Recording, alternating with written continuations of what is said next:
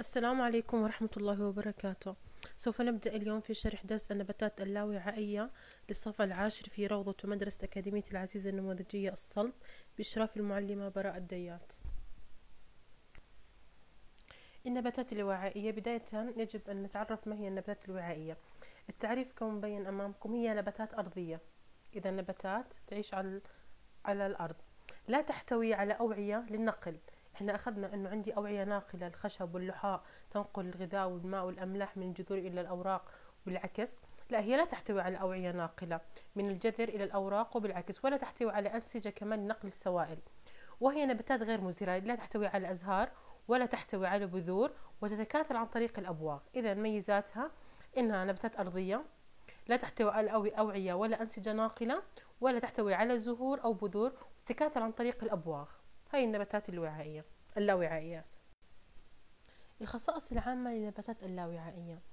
إيه، أول خاصية إلها إنها تظهر آه، في الغابات الظليلة الرطبة يعني بعيدة عن الشمس ورطبة على شكل سجاد أخضر سميك. تنتشر على الأرض.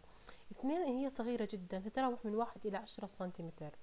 ثلاثة تنمو على شكل كيف شكل نموها؟ مجموعات بس مش متباعدة مجموعات متقاربة. ثلاثة كمان تستخدم خاصية الانتشار في نقل الماء والمواد الغذائية.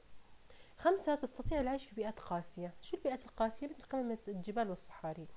ستة تحتوي على خلايا كبيرة الحجم. هاي الخلايا تحتفظ في كمية آه، عشرين ضعف وزن النبات من الماء. طيب نرجع للنقطة الخامسة تفسيرها. كيف تعيش في البيئات القاسية؟ اعتماد على إيش؟ إنه تحتوي على خلايا كبيرة الحجم. تستطيع تخزين عشرين ضعف وزن النبات من الماء. عشان هيك تقدر تعيش في البيئات القاسية. تصنيف النباتات اللاوعائية. النباتات اللاوعائية تصنف إلى ثلاث أصناف. الصنف الأول اسمه الحشائش الكبدية. وهي الحشائش الكبدية هي نباتات صغيرة. تنمو في الأماكن. حكينا الرطبة بعيدة عن مظللة بعيدة عن الشمس. ومثل الفروع المتعفنة وشواطئ المجاري. هاي ممكن تواجد تلاقي فيها الحشائش الكبدية. النوع الثاني الحشائش القرنية والنوع الثالث الحزازيات. الحزازيات هي نباتات صغيرة آه، ملساء طولها من بين واحد إلى عشرة سنتيمتر أو أربعة العشرة إلى أربعة بوصة. آه، يوجد أنواع أخرى أكبر من ذلك يعني في أنواع تكون حجمها أكبر من حجم اللي حكينا آه، أين تعيش الحزازيات؟ تنمو على شكل مجموعات متقاربة. إذا شكل شكل نموها على شكل مجموعات متقاربة. أين تعيش في الأماكن الرطبة والظليلة؟ ولا يوجد الحزازيات لا أزهار ولا بذور لأن ليش؟ أنا تابعة النباتات اللاوعائية. وتغطي أوراقها بخطوط محززة. عشان هيك سميناها حزازيات لأنها أوراقها تغطيها خطوط آه، محززة.